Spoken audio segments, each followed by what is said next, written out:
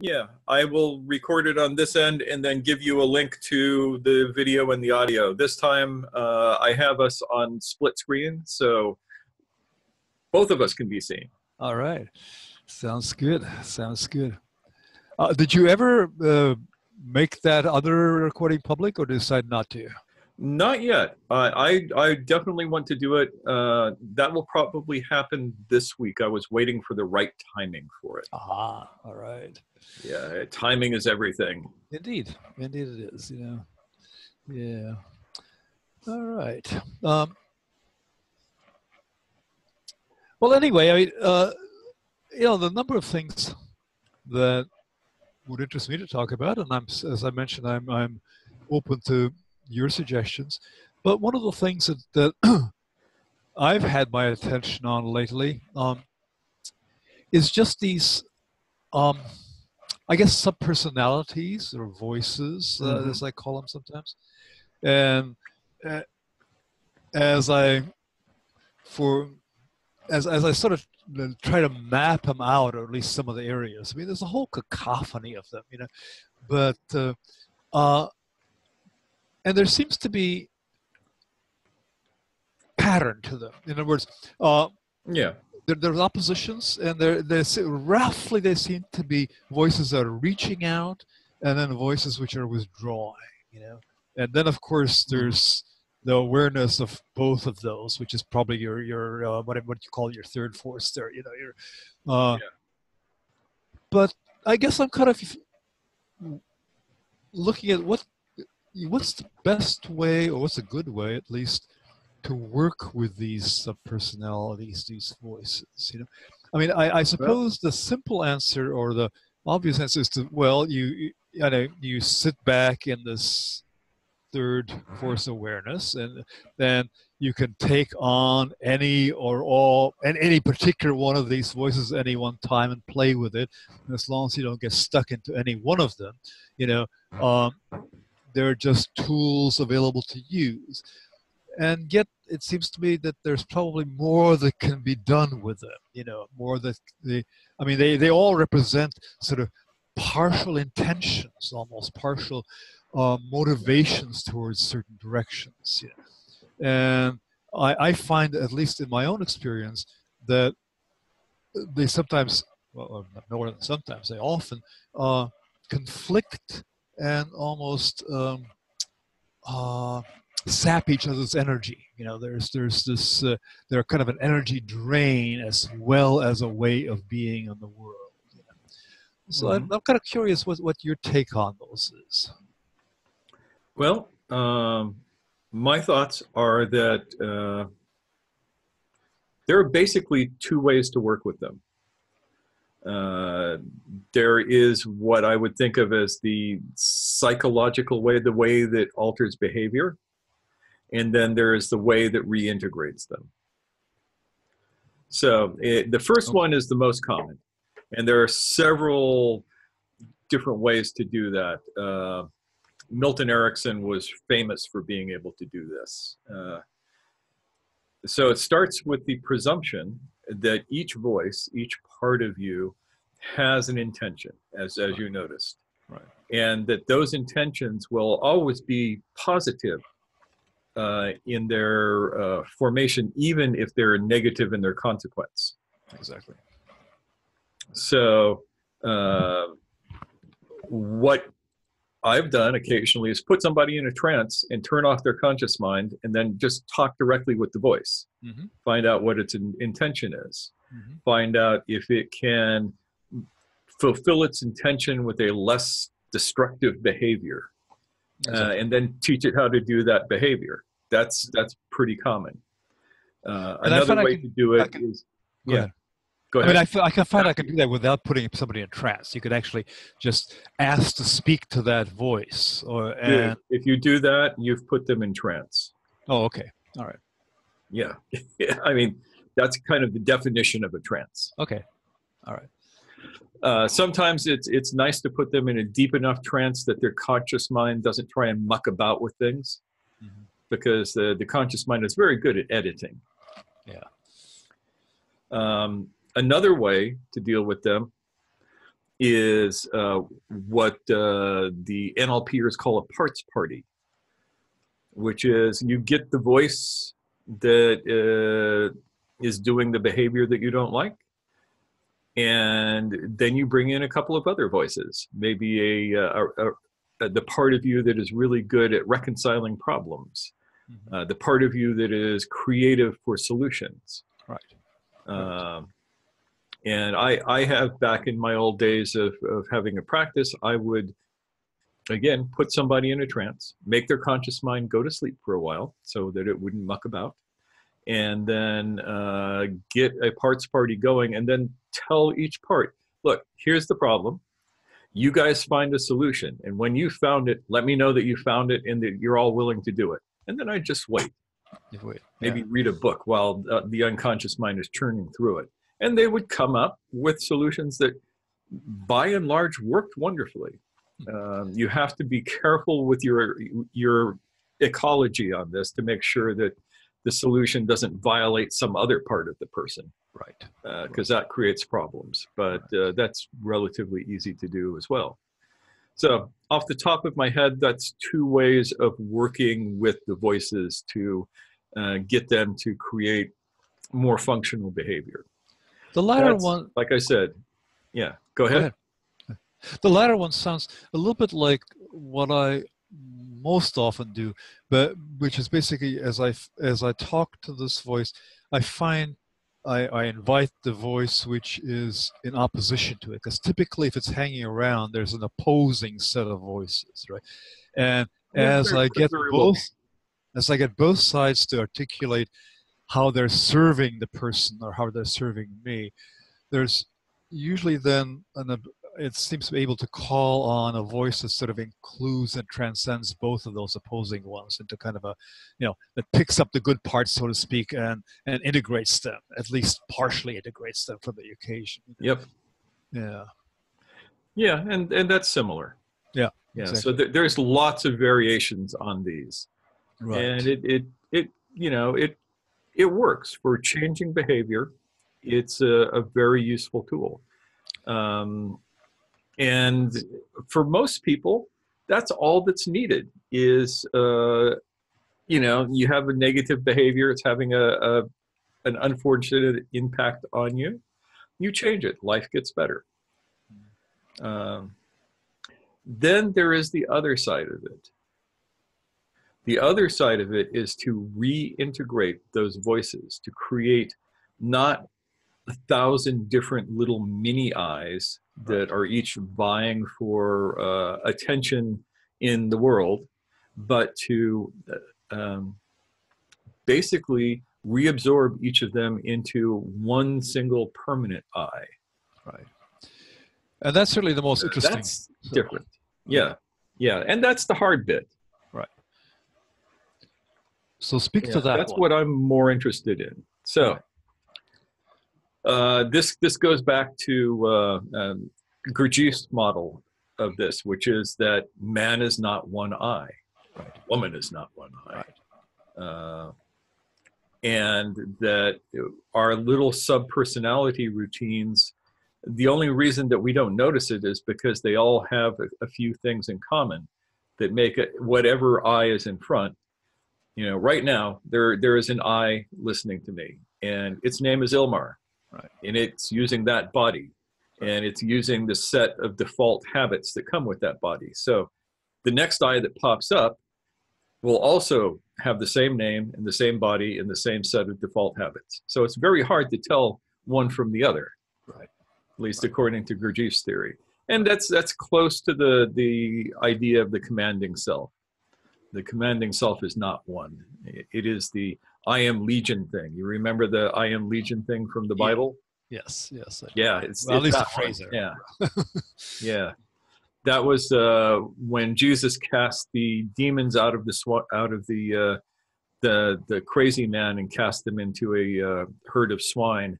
He asked the, the name of the demon, and the demon said, "My name is Legion." Ah, that's right. I remember that one now. Yeah. Yeah, and I take that as a metaphor for exactly this.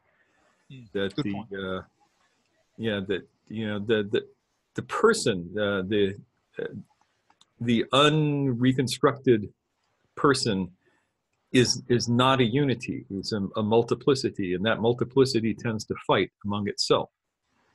Um, okay so that's part of the work is to create the single I okay so let's push on that a bit. You know i mean okay. what is that? I mean one way of looking at it is that the only single I is the awareness that is aware of all of these subpersonalities.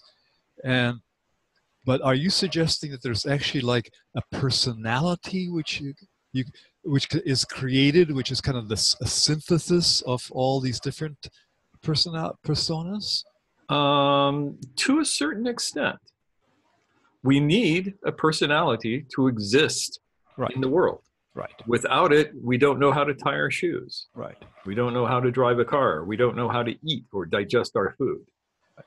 You know, uh, what one of my Sufi teachers said to me years and years ago. He said, "Mushtaq, God will annihilate your ego, and then in that very same moment, He will give you a new ego that is perfect, because you can't live in this world without the ego."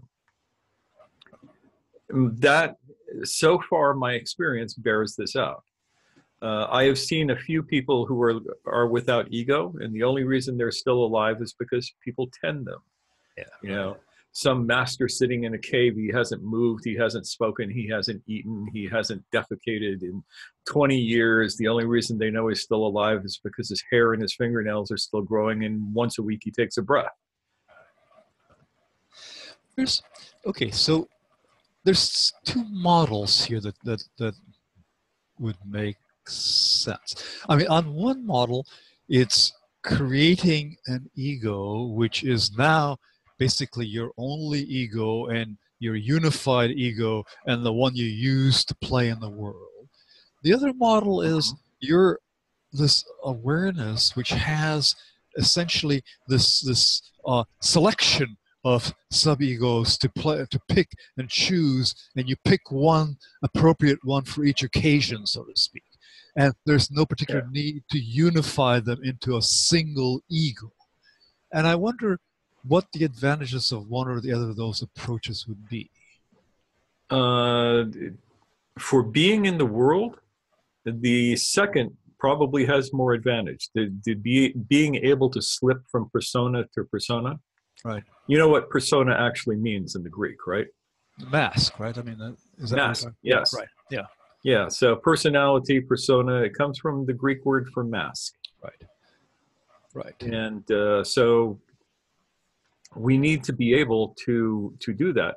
The unified I can do that just as well because the thing is, whether you have a unified I or a bunch of little eyes running around uh, getting into trouble, you are still you the essence still remains the essence. The the I uh, that we see, the persona, the mask, is is just an object that we identify ourselves with.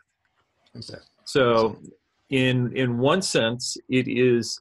Uh, if you are going for um, you know abiding non-dual awareness, for lack of a better term, then unifying the I is the way to go.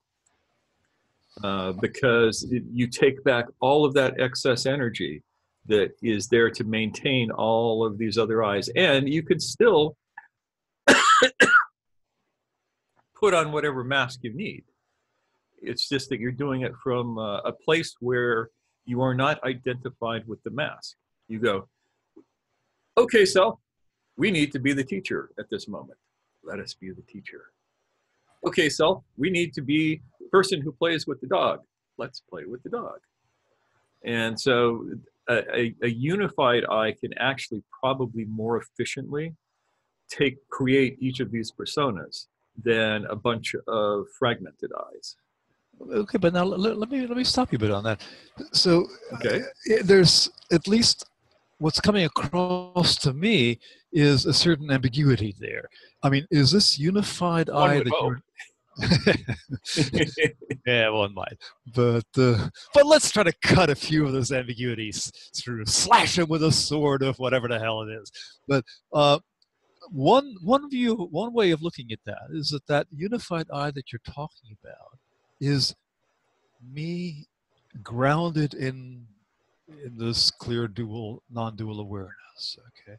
The other sense of this unified i is it's a persona which has been built as an integration maybe and a clarification of a bunch of these pre-existing uh, sub-personalities. And those two seem to be different don't they? Or are ah, but they are not okay that's what i totally not because okay. you're the, the mistake that you're making there is you're thinking that that which abides within uh, non-dual awareness has anything to do with the persona other than owning it like a pocket watch the persona is the persona. It is an artificial construct. It is right. made from your nervous system. It is in the body. It is mechanical. So are you saying are you saying that the only way I can operate well, the only way I can operate in the world is through a particular persona and that your advice is essentially to have a unified persona rather than a collection of splintered personas. Is that? No, that's not even my advice. I am saying that, but it's not my advice. Um, I am saying, uh, if you want to to play the game of being in the world, which is what we're playing right now, right? You need the proper tools. Right. One of the tools that is essential for being in the world is the persona. It is the right. ego. It is the machine. If you think that this is not the case, try to drive your car consciously. Do it someplace where there is no cliffs to drive off. Right. Right. So there are there are necessities for a personality in this reality game. We're living in Maya. We are living in the, the world of the uh, well, we say illusion, but if you walk into a wall, the illusion hurts. Exactly. Uh, but we we have to play that game if we want to be here. It's right. the difference between being the Buddha and being the Bodhisattva. Mm, yeah, yeah, yeah. Right. The Bodhisattva keeps their ego. Right they keep their connection to the world. And the ego is the connection to the world and the connection to the body. Now, uh, one other way that I talk about it is I say, uh, your ego, your machine, is asleep and it's having nightmares. When the machine is asleep, it is very active and it's running around all over the place. When the machine wakes up, it's quiet, it's attentive it does its work. So another way to think of this is the difference between the uh, sleeping machine running without a governor and the awake machine that is there to serve that which perceives. Okay, okay there's still something. And all of these are metaphors. The parts, uh, the parts thing is a metaphor. It's not I, real. I understand. I you understand. know, it's it's yeah. a way of talking about this. The machine is a way of talking about it. Of course, it's because we don't have any words to talk about it in reality. Right, but those words are pointing at something which is really there, you know, or at least yep. there in the, in the world, and something that that we deal with either consciously or unconsciously, or that essentially deals with us maybe sometimes but you know so it's you know it's it's i find it uh, very useful to actually try to get some clarity on this you know. Um, i mean i'm yeah i mean that's, that's there's there's another issue as to what the function of words is and to what extent we get caught up in it but but uh, but I, I actually value the ability of words to point to things you know. Um, and i am aware of the danger of words to suck one into an illusion basically you know. Um, yeah. well words are the map. They're not the territory. Exactly. That's exactly. the difference. Exactly. as long as we remember that we're cool. Yeah yeah exactly you know. So okay uh, so the growing up process is it the process of unifying the personality, the persona, or is it a process of becoming aware of that which you already are, which is this consciousness or whatever you want to call it this this non-dual awareness this clear deep heart mind whatever you know i mean there seems to be two different things going on here both of There which are. seem to be important you know Yes. Becoming an adult is different than becoming enlightened.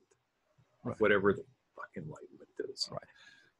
Uh, well it's, in your place it's waking up right yeah, in in my in in my model, waking up is what it is, and and that model I take straight from uh, the sources. You know, when you look at uh, the Sanskrit writings of the old masters like Patanjali, they they don't use any term that is anything like enlightenment. There is no light coming in. Right. They also don't use the word meditation, which is interesting. Yeah, meditation comes from the Latin, and it's it's the same root as medicine. Meditation means to heal. Mhm. What uh, the Indian sages talked about was not meditation. They talked about um, the last three of the eight spokes of yoga are um, concentration, uh, profound deep focus, and flow. That's how I would translate them. And Dhyana, Dhyana is this is became Chan in Chinese and Zen in Japanese, is the word that we translate as meditation, but it doesn't mean to heal anything per se. It means to have a profound uh, focus and engagement with the object and then letting the object disappear. Uh, oh God, a, a great book from uh, Roger Zelazny had this line in it. Imagine a leaf drifting down the well, then let the leaf disappear, then let the well disappear, then contemplate the drifting. Kind of like that. Who was that Roger Zelazny, one of the world's great science fiction Oh, writers. right. I believe that came from uh, a book called The Lord of Light, yeah which is a book that everybody should read just because it's brilliant science fiction. Yeah, yeah, yeah. I don't. It's not one that I have read, so I'd have to look into that. I'm Yeah. surprised, actually. It's it's about a uh, a planet far, far away where the Buddha comes. Yeah, I've read quite a bit of science fiction when I was a kid, but uh, haven't did not Yeah. that one. Yeah, this one I read when I was probably 15 or 16, and it, it had an effect on me. I, I read it every four or five years still, just to go back and go, ah, that was great writing. re-savor your Yes. yeah stuff. Yeah, Yeah, there are some books that are worth doing that. Yeah, definitely, definitely. Yeah. Okay, so So back to this though. yeah. Um.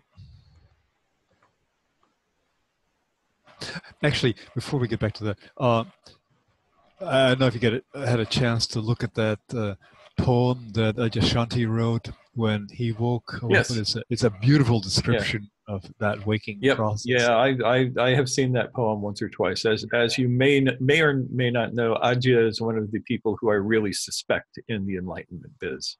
In what way? Uh, in that he's the real deal. Oh, I see. And that's- from, I said you said respect the or suspect. actual awake. No, respect. Oh, re- I thought you said suspect, and that's why I was curious. Sorry. Um, yes. No, no, no. Yeah. I suspect everybody, but I, I I respect him. He's uh, I've watched him over the years. He's consistent in the truth that he speaks, and he walks his talk. Yeah, yeah, yeah. And you can't do much better than that. That's so true. yeah, it's he's one of the people. If if somebody is looking for uh, a teacher along those lines, he's the guy who I recommend. Yeah, yeah. I've never met the guy. I mean, uh, well, I've, I've seen, I've heard him. I've, I've uh, present and stuff Yeah. like that. I never, I never had any personal interaction with him. You know, but but that poem. I believe that absolutely- he's yeah yeah I believe he's still around here. He's he's worth he's worth paying attention to. Uh, No, he definitely is still around. I mean, he's. Uh, I see. Yeah. You know, announcements of him doing. Oh yeah, he, I I think uh, he used to live in Los Gatos, which is just right. you know hop, skip, and a jump from here. Uh. So I, I I believe that he's still there. I've never been to one of his satsangs, never had uh, felt the urge to, but uh, I do every now and again check in on on the stuff that he publishes publicly just to see what he has to say. And on top of all of that other stuff, he is one of the kindest teachers I have ever seen working with people. He is so gentle with people's egos. It just it's it's mind-boggling that he has been gifted with that much patience which I take it you have not, right? I, mean, I mean your method seems more, a, you know, a black and white type method.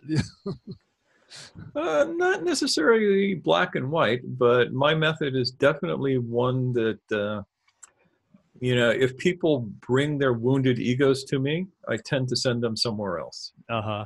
Right. Right. Mostly to Adya. He may not forgive me for that. Let me close the door. I'll be right. All right. Uh, Okay. Yeah. Uh, yeah. Well, actually, um, so the the growing up process, or at least the process that we're engaged in, whether it's growing up or not, seems to then have really two different asks in a sense. One is the creation of this unified ego. The other is the recognition of something which has always been there, but is but has been yeah. Hidden. I think of the growing up process as this: a human adult, uh, one who has moved actually through the uh, chrysalis of puberty rather than being stuck there, uh, is like a lucid dreamer they become awake within the dream. Okay. Using the metaphor of this world being the dream place. Right, right. Somebody who has entered into um, abiding non-dual awareness. That's my my phrase of the week: abiding non-dual awareness. I like the sound of it. Rolls off the tongue. Uh, Rolls trippingly off your That tongue. is, yeah, that is awakening from the dream right. rather than awakening in the dream. Oh, I see what you mean. Uh, yeah. So uh, a human adult lives within Maya. Mm-hmm. They just don't operate in the way a child operates. They have different qualities. They are they are no longer pups. They are actual responsible members of the species. Okay. And most people never grow up. Yeah. This this is something that I get kind of axiomatic about because uh, it's the only thing so far. You know, it's kind of Occam's razorish. It's the only thing so far that explains humanity simply, which is that we get stuck at somewhere around puberty, and what you get is not somebody who is um, 65. You get somebody who is, you know, 15 with you know 50 years of experience at being 15 okay so let's let's focus on that a bit now so uh, okay. what's the essential aspect what's the essential well what what essentially is going on in the fact that a person has not yet grown up is it that he has not yet created this unified persona or is it that he's not no, yet? No, you you can have you can have a fragmented persona and be an adult. Okay, it means the parts will work better. Yeah, the only reason I think that you need to to create the unified persona is if you're going for the whole enlightenment shooting match. And okay, most that, people, that was in my experience, don't actually want that. Right, but that's but that's maybe not until question. about a week before they die. Yes. But that's my next question. That would be Is having a unified persona an essential step in order to wake up? Or is it. I think not? I think that it is an essential step to waking up effectively. You see people who wake up. Um, Rajneesh was a great example of that. As far as I can tell, he had a true and valid awakening in the beginning. Right. But it was the kind of spontaneous awakening that did not, uh, that he didn't do any more work on. Um, and because of that, he left holes that the, the the the dark side of the force could enter into, and we get Antelope, uh, Oregon, and the right. the Rajneesh Param Ranch, and poisoning people in in the restaurant. Right. Yeah, that's that is the um, consequence of his not taking care of his persona. Right. It, towards the end of his stay here, he was constantly sick. He was it, there was nothing that he could tolerate, and that came from not unifying his persona because all of these parts were fighting for their attention, as far as I can tell. Okay, I like that. That, that I've makes... seen, yeah, yeah, I've seen this happen over and over again, and it happened to me. You know, I had my first awakening at 13. Hmm and I was nowhere prepared for it. That should never happen at that age. That's like way too young. Mm-hmm. And it left me adrift for several years trying to figure out what to do. You know, I kept trying to get back to that state, mm-hmm. which was, it's like the stupidest thing that you can do. It's like, oh, I need to bite my teeth again, to, to steal a little phrase from Alan Watts you know it's but i was too young to be able to process that. I my my persona had not matured enough. And it created some some pretty drastic problems for me most of which were addressed by moving to haight ashbury in 1967 and taking lots of lsd yes. I'm being slightly facetious with that well, but you know, uh, i mean that's it's it's it's a, it's a drug we need to pay i think respect for and honor because it hasn't yeah. done a lot of things for a lot of people you know uh, including myself. Yeah. Uh, yeah. Yeah. Yeah it definitely helped. Uh, it wasn't the, the the final thing but it definitely kicked me out of my uh, my idea that oh that that state that i experienced that one time uh, was something special because it's easy to get back there. You take this, wait a couple of hours. Yeah, yeah right, right. And so that that got me looking for different things. Uh, so that was very useful. But yeah, uh, my first awakening experience, my ego was completely fragmented. I was a teenager, for God's sake. You know, a bundle of hormones. Uh-huh, uh, uh-huh. Not the time you want to experience uh, a moment of enlightenment. Hmm. Yeah, yeah.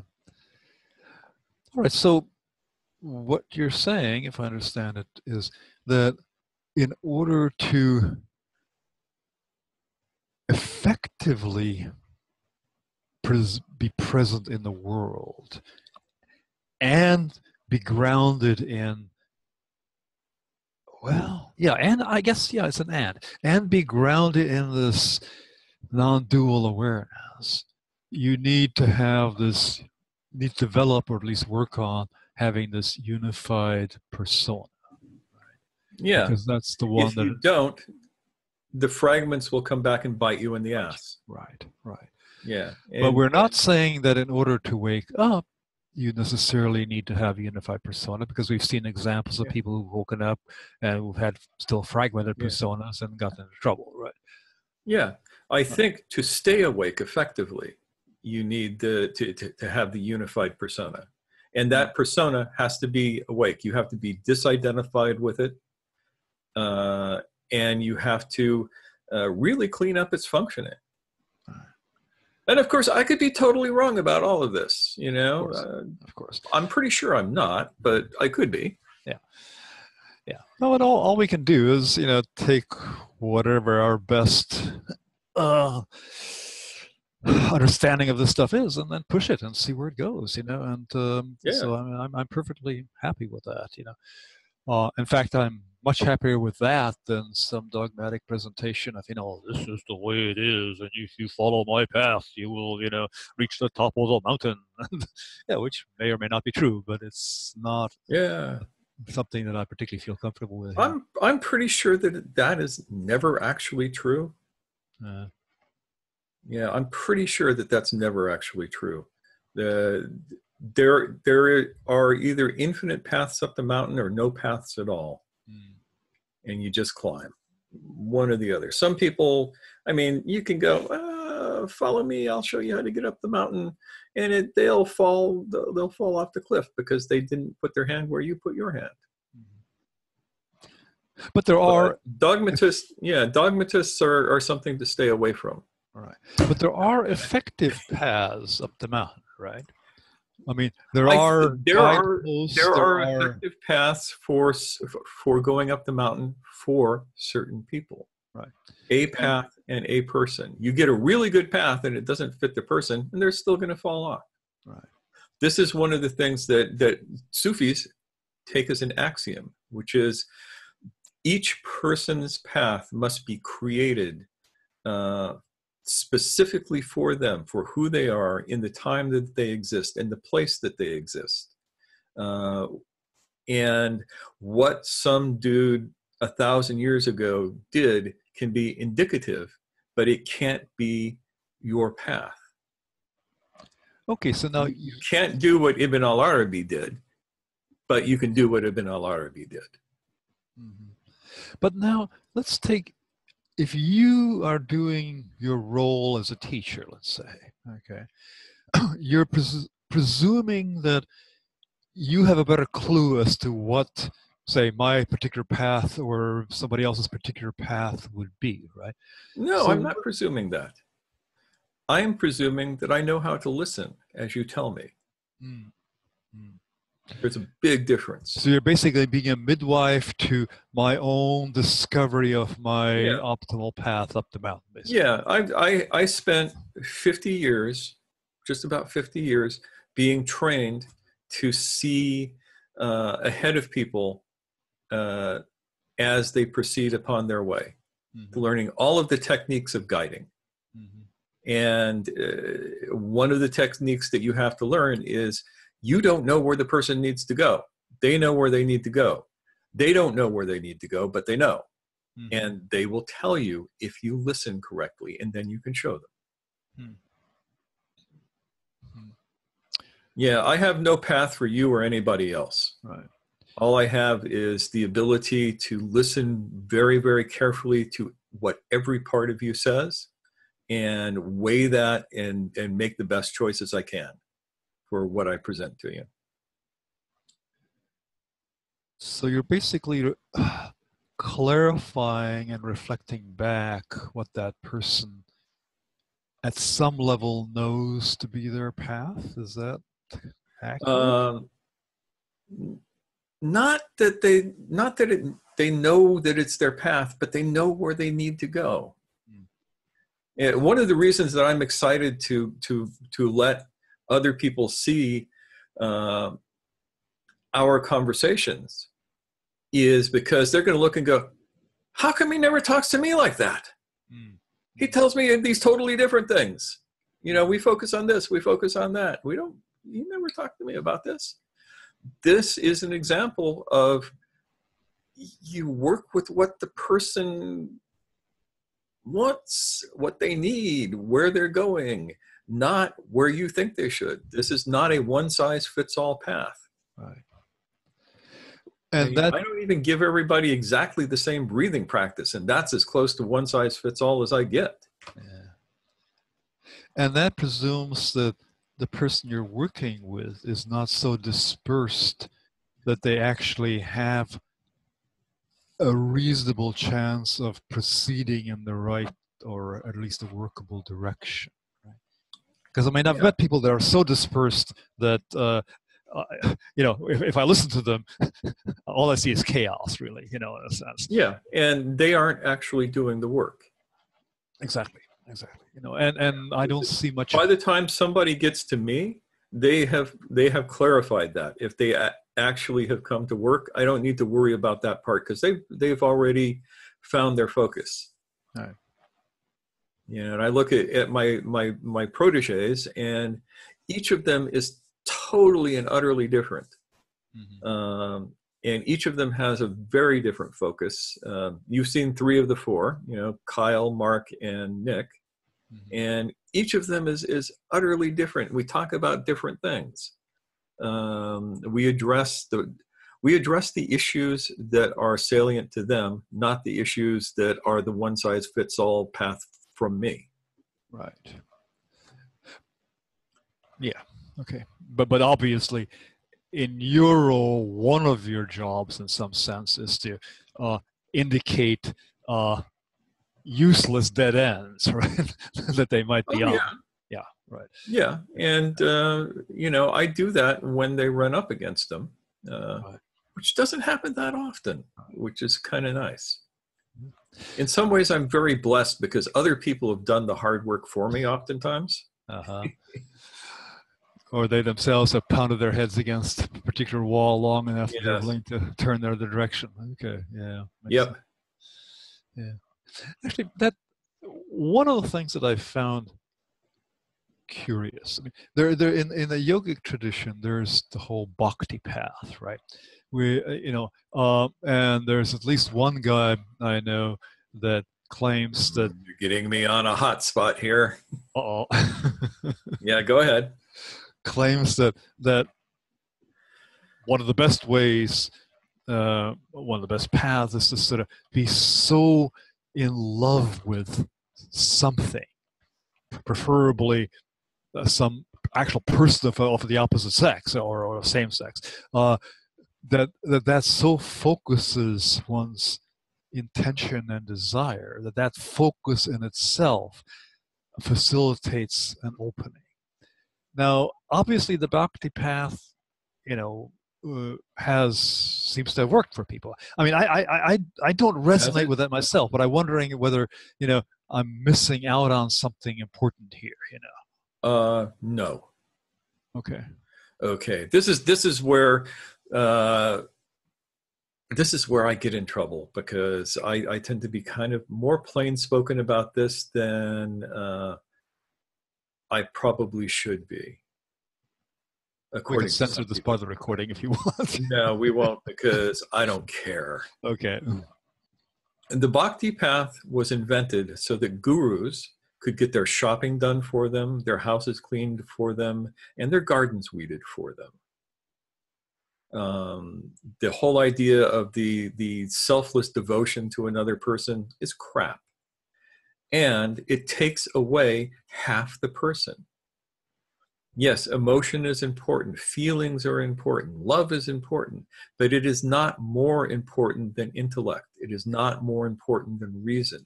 They are all equally important. And none of them are more important than the person's own agency. So, bhakti yoga, where you devote yourself to the guru, I I have always found it to be bullshit. And and people are surprised because we have been trained to that in this culture. And when one of my two students comes to me and says, um, "What can I do to help you, oh wise mystical one?" and I say, "Well, you could do this for me," and they say, "I would love to," and then I say, "And I will pay you this much for doing it," and they're shocked. But I have this rule that nobody does things for me without equal recompense in some way because the idea that they should work for free for me is crap. Uh, and yet, there are some people who totally love it. And that's fine. It will get you to high states of consciousness. It won't wake you up, but it will get you to high states of consciousness. How can you wake how can you wake up if you are totally identified with some other person? Right.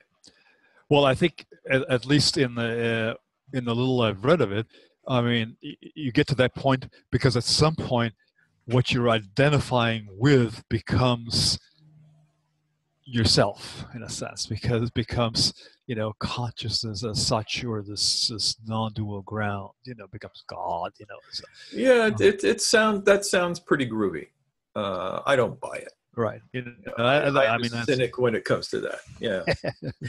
I mean, I, I, tend to agree with that, but I wonder. I, I always sometimes wonder whether that's uh, not a blind spot for me. You know, because because I can see Could where be. that would actually f- focus. I mean, if we're talking about integrating into a single persona, I mean, surely that's a very focusing practice, right?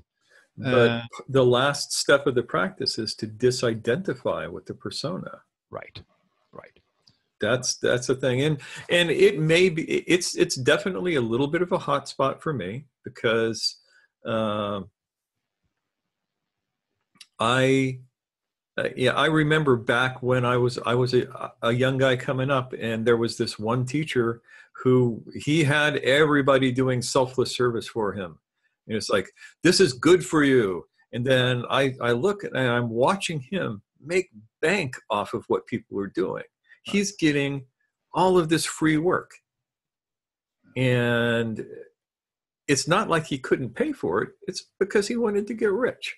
Mm-hmm. Mm-hmm. And I found I found myself uh, morally offended by that. You know, he wasn't doing any selfless service to anybody. He was charging through the nose for what he did. Right, right, right. Though, though I, I've, I've certainly have heard of, or not necessarily had any direct relation to people who themselves, uh, well, I mean, Ram Dass, I guess, is an example of that. You know, someone who is actually yeah. selflessly, I think, you know, de- helping people with their last days and stuff like that. You know, uh, and I he seems to be on a essentially a bhakti path. You know. Yeah. Um, I haven't seen Ram Dass in decades, so I'm I'm not sure what he's up to these days. Mm. uh, whatever it is, I probably like it because I like Ram Dass. Yeah, yeah. Uh, but what he's doing is not enlightenment that part is not being awake. But neither is our conversation now, right? No, I mean, of course not. all, well, all these are, I mean, whether it's the rational mind or the emotive self or the sensuous self, any of those practices are not themselves waking up. Yeah. Right? They're at best. Let us let us though suggest that this conversation is in fact not waking up, but coming from an awake place. Yes. That's different. We speak in metaphors and similes, and we we point at, mo- at the moon with our finger because that's the only way we can talk about what we're doing. But we're both talking about it from that place that we can enter into that is us as uh, that which is awake. Right. Right. Yes. Yes. Yes. And so the ignore real... the man behind the curtain. ignore my wife behind the door. yeah. so that part of the discussion becomes most important really when you're trying to work with somebody else, maybe, or even with yourself, uh, in order to facilitate a movement towards an integrated self and an eventual waking. Yeah. yeah. Earlier today, one of the people I work with asked me a, a question to to this effect, which was, you know, what do you do when you work with a group of people? Mm-hmm. How do you work with them from an awake state? You know how do you know what they need? And right. um, you know we, we, we, were, we were talking about that. And you know i use a couple of different tools. You know i use uh, the, the the chief feature. I look for the chief feature of each person and, and i've learned ways to recognize those. And here's an interesting thing. The group itself if you're working with a group will form its own chief feature and you have to learn to perceive that and and work in concert with that rather than in opposition with it most of the time um, in order to be effectively teaching and then you have to be enter you have to be able to enter into flow state for teaching uh, you literally have to teach from samadhi mm-hmm, mm-hmm, mm-hmm. uh, which is not a state of mind, it is a practice. Right. It's interesting when you know one of the people that I've learned quite a bit from was Junpo Kelly. I mean, and he's got these mm-hmm. this this koan practice, and, and he keeps insisting, well, what you're still doing, you're always transmitting. You're transmitting a state, whatever the particulars yes. of it are. You're trans, and if you're not transmitting a state, then forget the rest of the shit. You know, because it's not. Really yeah, if you're not transmitting a state, you're you're either dead or a robot. One of the two. Could be a rock. Could be a robot. But in this case, you want to be transmitting a fairly specific state, uh, uh basically a non-dual yeah. state, right? You know. Yeah. So. Yeah, and it and it's not just for the transmitting of it. It is for the being able to process what you are given clearly. Right. right. You know, if if I am lost in my own content and you say something to me, that gets filtered through my content. In order to speak to you like this, I have to turn that damn content off.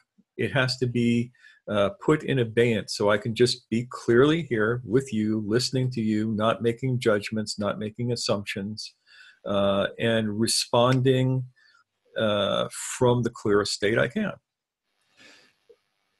And that seems, I mean, I've. I sometimes wonder what you get out of the martial arts, and that seems to be one of the things you would probably get out of the martial arts. I mean, if you're not simply clearly there and able to respond yeah. to the immediate stimulus, I mean, you're probably going to get whacked. You know? Yeah. Yeah. Oh yeah. I mean, I. This is why I fence because uh, there is truth at the point of a sword. Mm-hmm. You are either awake to what your opponent does or you're not, and if you're not, you're going to get stabbed a lot. Right. Right. Makes sense. Makes perfect sense. Yeah. Yeah. Yeah. Yeah, I, have I've noticed the things that you've sometimes, so that sort of group uh, persona almost happening. You know, and I'm actually looking really forward to your your uh, your uh, you know your course on the yeah the enneagram you know, yeah because I mean that's something yeah. that I, I definitely need more work on is how you know how to recognize yeah styles, and I've, I've basically designed this course to be uh,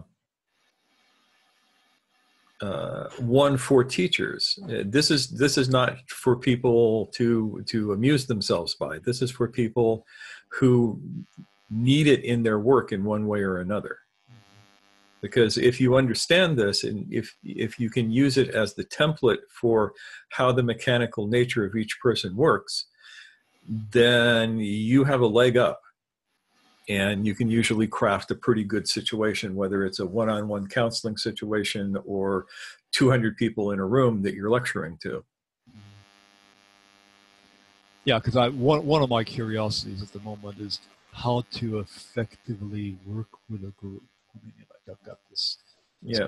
project group you know and i'm wondering you know what I mean, the, the, and they're kind of wallowing in, you know, oh, way is me. I've got this issue and I've got this issue, and and I and I keep wanting to look for a way to sort of uh, undercut all that and, and say, okay, yeah, the real issue is, you know, um, and I'm not sure. The real issue is that you think you have issues and you're looking at them and you're not looking at the exactly. world around you. Exactly, you're being the problem rather than the solution, Are they're being the yes, the, yeah, yeah, exactly. Yeah and and of course I find myself doing that also. I mean, I find myself still doing a lot of that shit, you know, just uh, yeah, and then backing out of it and saying, "What the fuck am I doing?" You know, but, you know, it's, just, it's, such a weird game at times, you know. Just it really is. Yeah. Okay, so one of one of the things that I had planned on asking you about was, but it's may already been answered, was whether this whole process is a gradient process or whether it's a sudden awakening and seeing of something. And it seems to me that if I understand your, your position, you're coming is both. I mean, the, the creation of the unified self is the gradient process, but the actual waking is you're waking yeah. or not. Waking, yeah, waking is interesting because you are either awake or you're asleep. There, that's where I am black and white is in that. There is no such things as levels of enlightenment. levels of enlightenment. It's absolute bullshit. If you're awake, you're as awake as awake as Siddhartha was. You were as awake as Patanjali was. You were awake as Yeshua ben Maryam was. You are as awake as any awake person has ever been, no more, no less. And every moment that you are awake is exactly the same state as that. There is no gradient to that. Identified, not identified. It, to, to say otherwise is like it's that old saw of being a little bit pregnant. Right. Right. right? Yeah, it's it, this. This is this is a pretty cut and dry state. Other than that, how you maintain that is where the gradient comes in. I can I can wake anyone up. I can bring anyone to a state of full enlightenment for about two to three seconds, maybe. But getting them to stay there is the trick. That's where the abiding comes in. Yeah. Yeah. And and then I guess the question arises I mean it's kind of a weird question, but but what's so important about abiding? I mean, this whole friggin' game. The answer is nothing. Exactly. Nothing. I mean, it's part yeah, of this there, whole there's nothing game. important about it. Yeah. yeah. And if you want to play the game, if you want to be in the game of life on planet Earth, you cannot allow yourself to slip fully into abiding non dual awareness. Hence the need for the persona. Mm-hmm. It anchors you here. Right. And so you know, think think about think about Krishna. Uh, in you know in the story of Krishna, you know he goes off, he helps Arjuna get all enlightened, and you know delivers his message, and then he's done, and he goes wandering off into the forest and lays down, and a hunter mistakes him for a deer and shoots him with an arrow and kills him. Because once he was done with his work, he just let go.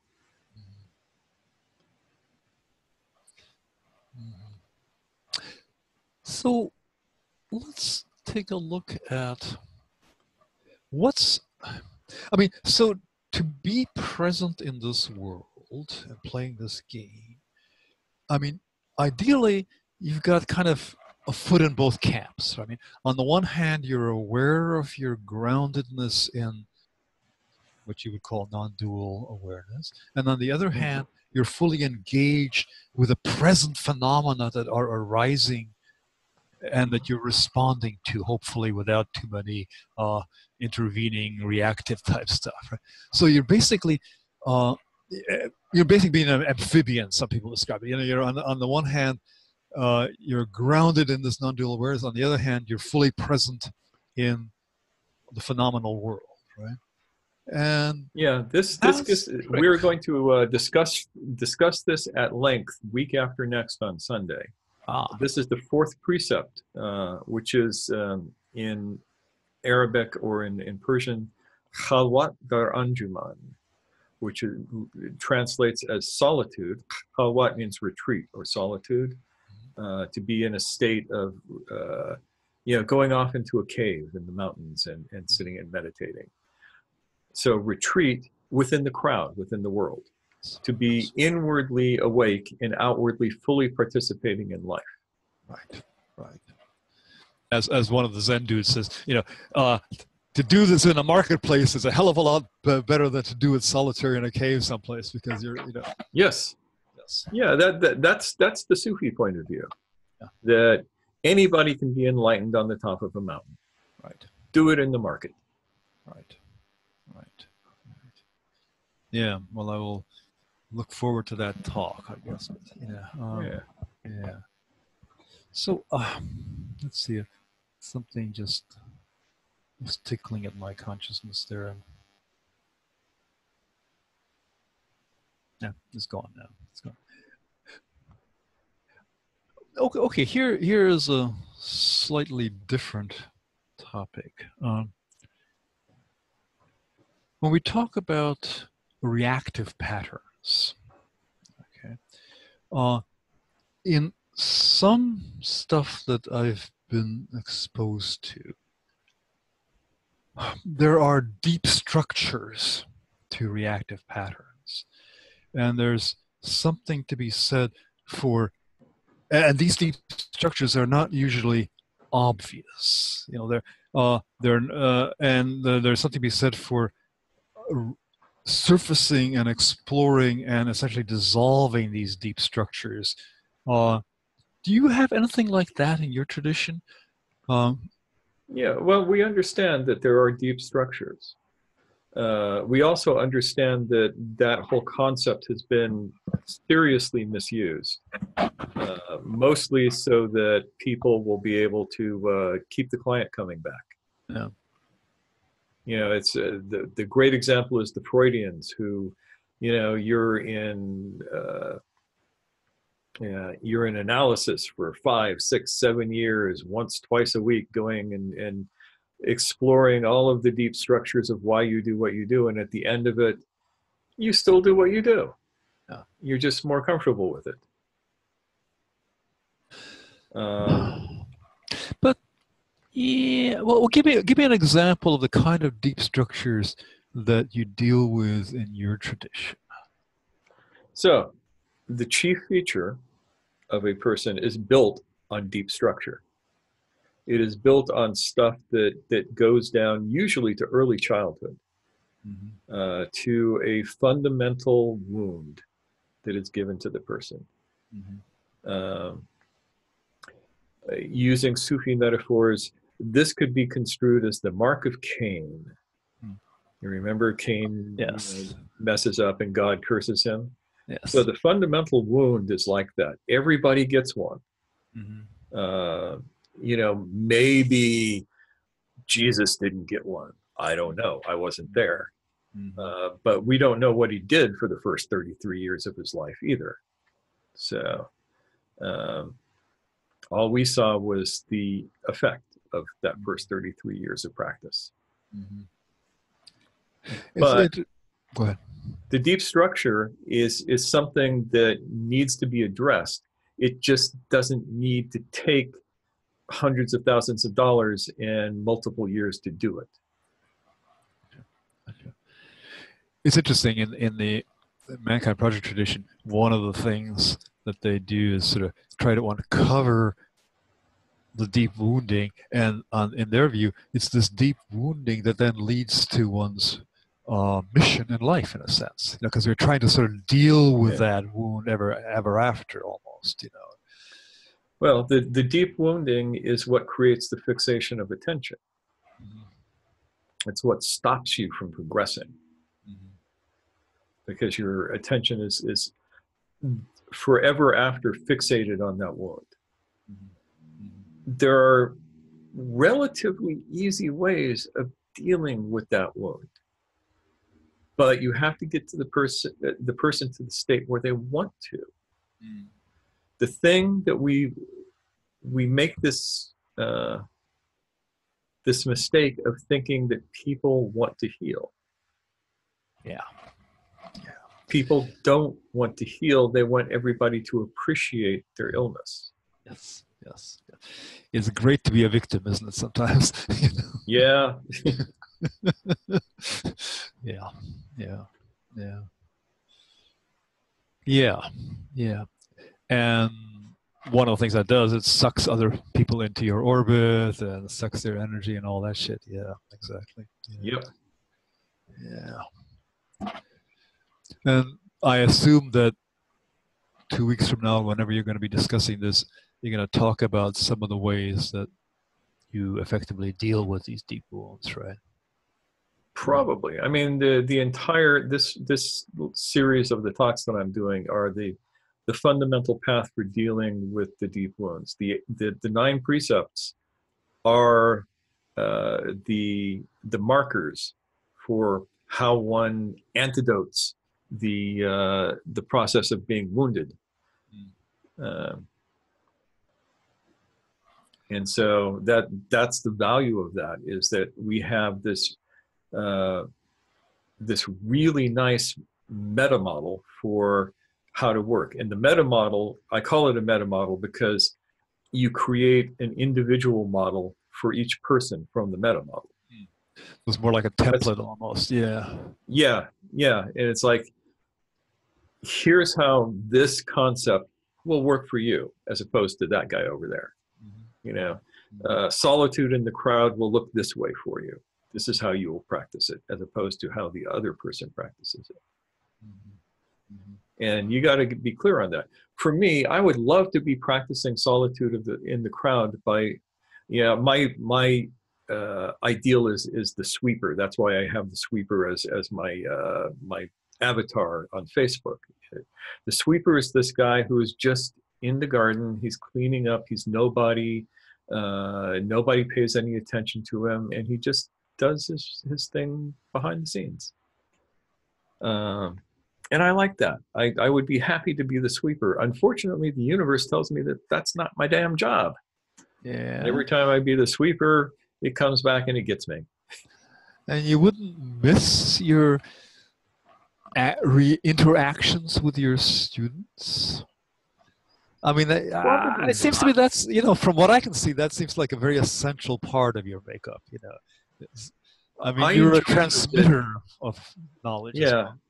but I I also am very very clear that my job is to create teachers out of my students and let them loose into the world without them having to have me standing around looking over their shoulders. Right.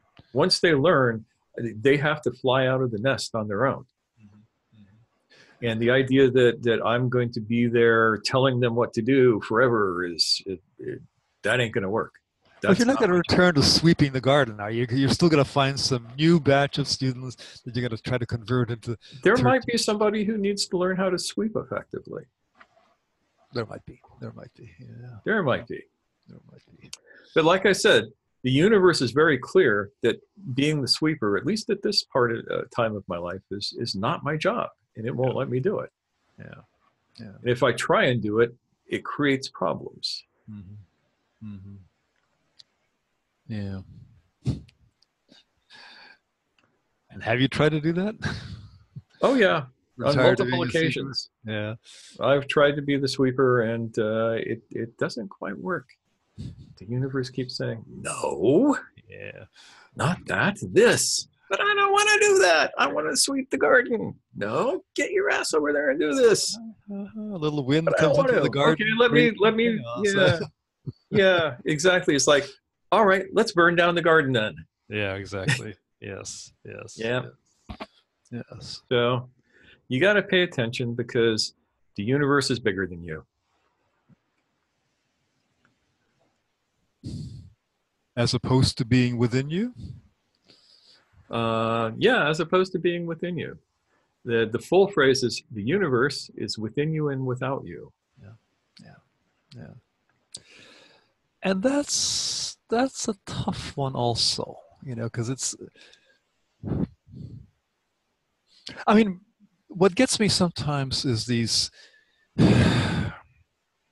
probably necessary shifts of perspective but that still feel like shifts of perspective you know like uh, that where where the shift is almost sometimes an attempt to solve a problem I mean, like yeah. I was, I was Remember, when I was in every perspective is false, in yeah. some sense. Right, right, right.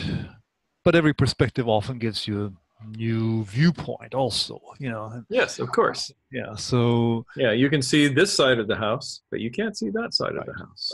Right, right, right. Because I find myself. Uh, probably the the two most vocal voices at the moment are the ones that say, well, you got to get your butt in gear and do something worthwhile. And on the other hand, well, shit, it's all nice. I can just relax and just enjoy it. And maybe, in your metaphor, sweep the garden or whatever the hell, you know?